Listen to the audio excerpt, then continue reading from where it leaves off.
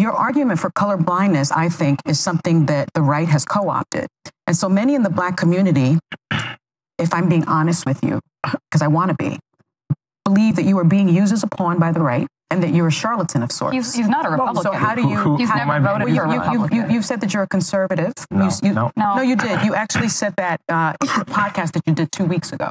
I said I was a conservative. He's not- conservative. Yes, He's not. yes, you did. So, but my question to you, my question to you is, how do you respond to those critics? Okay, that- let- Let's give it a let- let, let him him talk. answer. He has First thing I, wanna, I, I- I think it's very important. The quote that you just pointed out about doing something special for the Negro, that's from the book Why We Can't Wait that, that I just mentioned. Yes. A couple paragraphs later, he lays out exactly what that something special was. Yes. And it was the Bill of Rights for the Disadvantaged, a broad class based po- But, but he policy, also says okay? you must include race. No, he didn't. He says it's Yes, a, he does. Okay, well, everyone can go. Everyone should go read the book Why We Can't Wait. Let's not get sidetracked by that. Yeah.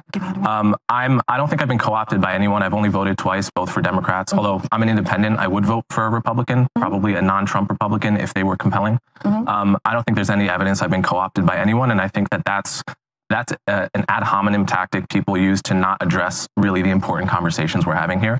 And I, I think it's better, and it would be better for everyone if we stuck to the topics rather than But make it about me But with no, not no about you, evidence. but I've I, I just I co-opted. want to give you the opportunity to respond to the I, I appreciate your criti- the criticism. I appreciate it. There's no evidence that I've been co-opted by anyone. I have an independent podcast. Mm-hmm. I work for CNN as an analyst. I write for the Free Press. I'm independent in all of these endeavors, and no one is paying me to say what I'm saying. I'm saying it In the discourse surrounding Sunny Hostin's allegation against the right wing's labeling of Coleman Hughes as a fraud, the accusation itself seems aimed at undermining Hughes's credibility and intellectual independence.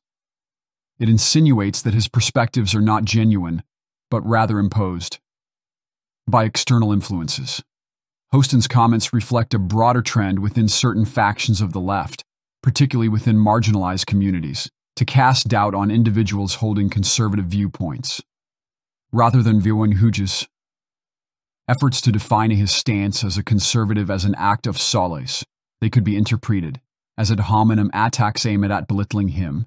Hughes' response serves to reaffirm his autonomy and moral accountability, asserting his capacity to form opinions and engage in discussions with integrity. By framing his advocacy for independence in this light, Hughes underscores his commitment to his beliefs, stemming from personal conviction. Untouched by external political pressures, his stance against being reduced to a mere mouthpiece for any political agenda underscores his assertion of dignity. Hostin's approach epitomizes the prevalent ideological polarization, which bypasses constructive dialogue in favor of attacking individuals based on their political affiliations.